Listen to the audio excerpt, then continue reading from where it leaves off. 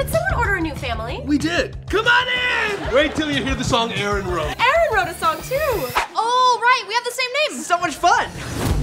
I guess this means we're officially a family. RuPaul! Aaron, you want in on this? I do not. I practice every single day. I just play to play. You always do the right thing. I try. Barf. Now this family has another Aaron who plays music. There's only room for one musical act. What? This was a mistake. Why don't I just play with you?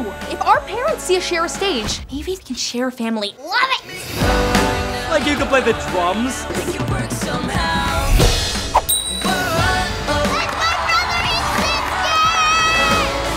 Guess it's true what they say. It's not work if you love what you're doing. I'm suddenly getting the urge to smash another piano.